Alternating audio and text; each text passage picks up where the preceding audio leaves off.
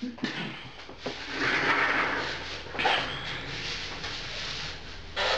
howdy folks. Little John out in the brewery.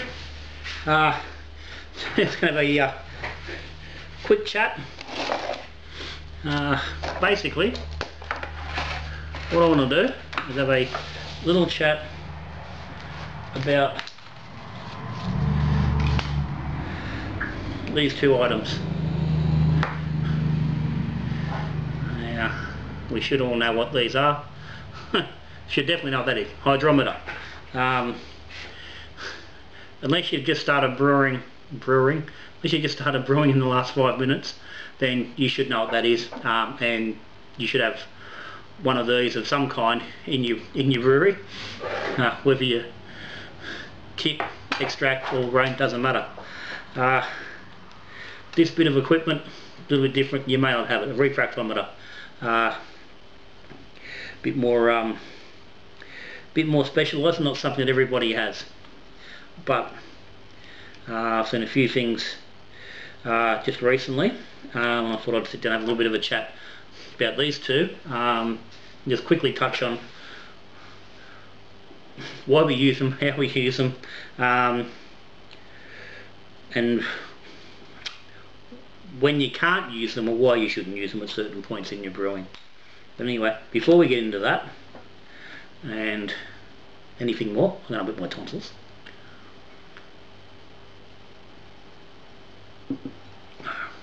But before that, or before everything else, shout out to Little John's Patreons. Uh, thank you guys for your support. Links down the bottom if you're interested in having a look what it's all about. If you aren't subscribed to Little John, hit the subscribe button down there in the corner. Ring the bell, get notified when there's a new video coming up. Generally there's two videos a week. Brew days, tastings, reviews, testing, experiments, rants, it's all there. Check it out. Uh, but either way, whether you're a patron, a subscriber, a non-subscriber, hit the like button if you're here and watching.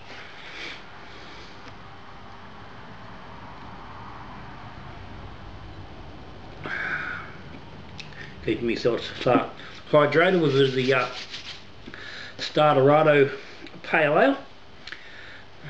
Anyway, I said, what I want to quickly talk about is these two fellas um, I said the difference in when you when and how you use them uh, and the thing that's brought this up is that you see quite regularly um, the same thing I've seen today on uh, Facebook page and that's someone having trouble with their final gravities on their beers uh, where their beers are finishing high um, and you find all these different answers, people running through all these different things that could be causing a high gravity, you know, mash temperatures, conversions, efficiencies, yeast health, yeast numbers, oxygenation. Um, and again today, as you see in, in yeah, you know what, in so many of those cases, um, the issue comes down to this bit of gear. Um, because somebody has taken readings with this uh, and it's thrown them out. Now let's talk about this fella quickly. Refractometer.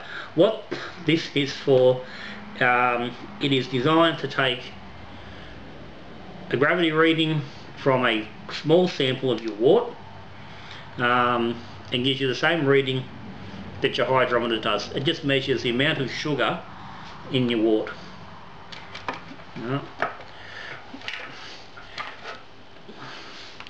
The big advantage and the beauty of this this fella it gives you an instant reading uh, and your wort doesn't need to be chilled down to 15 or 20 degrees you know, down to that temperature where your hydrometer is calibrated and needs to be to work. These work at a much higher temperature range so they're good for doing readings on brew day and that is where they are brilliant and it's where they come in their own and it's where it's what I got mine for. Uh, I got over having to take a sample, you know, during the mash, pre-boil, um, having to stick it in the freezer and cool it down and wait, yeah, 20 minutes for it to cool down so I could get a hydrometer reading or cool enough so I could then make an adjustment on a, on um yeah for the for the numbers. This fella simply by taking a little yeah a little sample of the wort yeah you squirt it onto the bloody onto the little red panel there and you only need a couple of mil and you look through the bloody thing you see me you'll see me on burrito burrito vids this fella out, sticking, yeah, looking like a pirate, down looking down my periscope, uh, and checking out the gravity. And it gives you an instant reading. Uh, and I said, you're only using a couple of mil, you're not wasting beer, which is one reason why people like them. Um, but the main thing is that quick reading. Now, you do need to be aware, you see on there it says ATC automatic temperature correction. So what the blurb tells you when you're buying one of these things is that it'll automatically correct the reading for the temperature. So if it's, a, if it's at a higher temperature, it doesn't matter. Um, in my experience, that is correct to a degree. I find that beyond 65 degrees, they can get quite, they're still ballparking your figure, but your number starts to get skewed um, by anywhere up, I've seen by anywhere up to sort of five, six, even seven points. Um, below that 65 and they're, they're pretty good. Um, so what you find is generally while you're doing a mash, your temperatures, yeah, you're in that mid 60s range. Um, so it's pretty good. You can take a mash sample and, and, just drop it on and you're getting a fairly accurate reading. Um, if I'm doing a boil reading, I tend to just take me little sample and I just sit it in a cup, you know, for a cup for, for three or four minutes, just enough to sort of, because it's such a small sample, you know, the air temperature just it, it, brings it down fairly quickly, and then you can get a quick reading, um, and that's no problem. Wait three minutes to get that um, during the boil. If I'm looking to see whether I need to adjust gravity with you know, more water or with you know, dry malt or sugar or, you know, some dextrose or whatever. Um, gives you a quicker response. Uh, so, really good on, on brew day. Um, I never rely on this completely to be fully accurate. Um, I will still always take a hydrometer reading of the final brew going into the fermenter and get my starting gravity from that. Um, just because I put more faith in this thing to be accurate completely than I do on this number. Um, even though this is calibrated with water the same as the hydrometer. Uh, I've just found that sometimes I get a diff I do get a slightly different reading on this than I do on the hydrometer. But for checking progress of your mash and your your pre-boil numbers and that, it's fine. It, it, it's getting in that ballpark. You know, I know if I'm looking for a 1044, I can look at that. It might give me 1042, might give me 1046, but I know I'm in the range. I know I'm, I'm in that sort of place I want to be. If I'm looking for 1044 and I was telling them I'm at 1030, then I know there's something wrong. I need to I need to address it and need to address it reasonably quickly and not have to wait yeah, that 20 minutes for that sample to come through where I'm then not getting a reading on what I'm looking at right there. And that is one of the beauties of this. It's a reading on what you're looking at pretty much straight away, not where you were 20 minutes ago. So that's great brew day when you're hot side. This, not so great hot side. But once you start getting things cooled down, then this number is fantastic. But where this really comes into its own for brewing, and this is where the subject matter comes from, is once you start fermenting. Because that will give you a reading of the amount of sugar in that wort, whether it's totally unfermented, 20%, 50%, 75% fermented, or completely fermented, it's going to give you an accurate reading of the amount of sugar in the wort. Um, of course allowing for CO2 bubbles when you're taking your reading, but that's hydrometer yeah, 101, which isn't what we're here for today. Um, I'm looking at this and thinking of developing a hairline crack around the base. Uh, this one's lasted me a while now, so it wouldn't surprise me if it's showing its age. But fermenting, this is completely accurate. Once you ferment, this thing becomes skewed because there's alcohol in the liquid. Because it's taking because it's measuring the sugar. What it does is the light is coming through the liquid, runs through the prism and it takes a reading. Alcohol in the wort upsets that refraction of the of the light um, and puts this reading out. Okay. Now you can use a calculator um, and there's a method of going through of calibrating this with alcohol, um, which is a little bit fiddly. Um, and I've, in all honesty, I've, I haven't tried real hard, but I've looked at it and I just thought it's just too much fucking around for me. Um, when, especially when I'm fermenting, I'm not I'm not fermenting at 50 degrees. I'm fermenting at, yeah, generally between, you know, 10 and 20 degrees uh, where this fella works quite happily. Um, even at 10 I know I can pull a sample out, stick this, stick the hydro in. Um, by the time I've gone and poured myself a beer and found my notes and you know fiddled around for a couple of minutes, the hydro samples at room temp and I'm getting an accurate reading with that where that's not going to. So as an example, fermenting beer you might get a reading of 10, 1015 with your hydrometer. This fella might tell you it's 1028, 1029.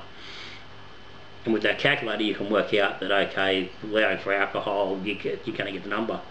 Um, but for me that calculation is still a little bit iffy. It's based on you know, scientific numbers and uh, calculating things correctly. Um, and I'm not really that confident that me calculating it is going to be completely right. But I know if I stick that filler in a tube and my samples at room temperature, I'm getting an accurate reading within at worst level of inaccuracy, two points.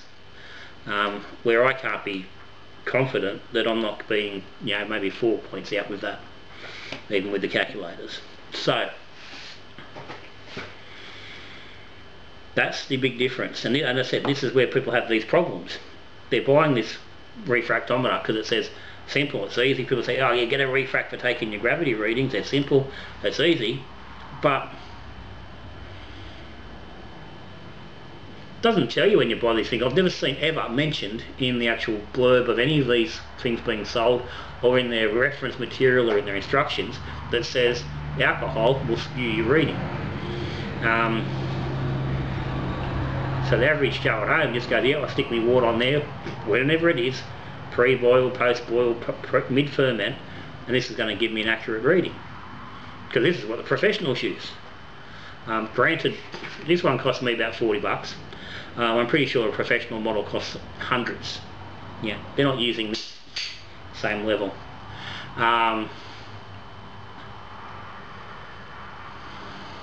so they fall into that. And the one today particularly, he used the hydrometer pre-ferment and then used this during the ferment, um, which is generally, which is completely the opposite way of how you really should be using these two implements. Okay, so, hope that's cleared something up. Uh, if, you're, if you're looking to buy one of these things, um, uh, pointless if you're not doing mash brewing or at the very least like extract boils where you need to check your gravities um, but they are a good bit of they are a great bit of kit um, if you are doing grain and extract brewing uh, for keeping track of where, where your progress is. Uh, well worth every cent. They save you a lot of mucking around on brew day. Just don't use it. Try take a measurement on your ferment. That's your fella. Your hydrometer. Um, and more than that buy a decent one. Now again this is a quarter a third of the cost of this. Yeah this fella will cost you any you know anywhere from 8 to you know 18 dollars depending on your brew shop um, and exactly the brand. Um, this is an Alla brand which is out of France which I've used um, pretty much the whole time I've ever, ever since I've brewed. Um, so for the last you know for 30 years. Um, and they've always been fantastic. They're highly accurate. Um, everyone I've ever had reads perfectly on what you know 1.000 uh, in tap water. Um, so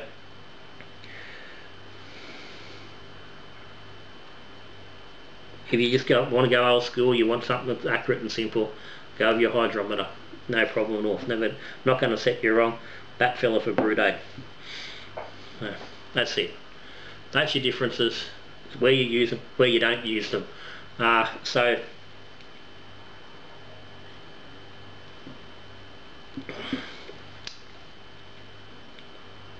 if you've got any comments any questions down the bottom as per always.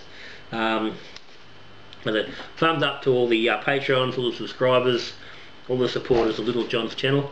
Thank you guys very much. Uh, but that's me. I'm done. So till I see you again we're uh, brewing beer drinking beer or we talking beer? Good brewing